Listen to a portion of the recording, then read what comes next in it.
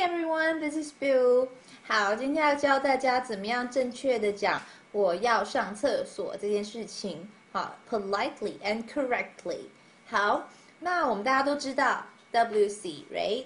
W C 的话呢，以前就是啊，它就是 water closet 的意思。那现在已经不符合时宜了哈，所以大家不要再用 WC 了。啊，因为你如果跟他讲说 I need to go to WC right now，有点像是跟他讲说我现在就要去拉屎撇尿的意思喽。好，那我们可以用什么呢？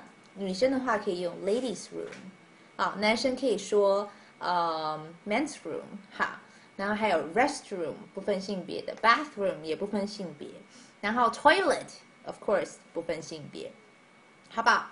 那还有一个很重要重点就是。如果你今天啊要去在朋友家或者是到餐厅借厕所的话呢，你不要再用 borrow 了哦。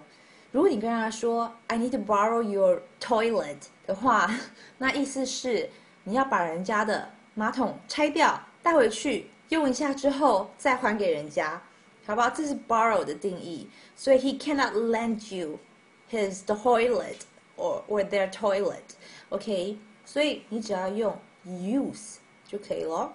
Can I use your restroom? Can I use your toilet? Can I use your bathroom? 好，这样子就对了。OK，那再来就是呃，有的时候啊，当你在用餐的时候，你可能想要跟人家讲说不好意思，我要去上个厕所。那女生要怎么样讲 会比较文雅一点呢？那你可以跟人家讲说，嗯，Excuse me, I need to go to the ladies' room. 好，呃，不好意思啊，我要呃去 ladies room，好一下，或者是更文雅，就可以说 Excuse me, I need to wash my hands. Excuse me, I need to wash my hands. All right？有没有比较文雅？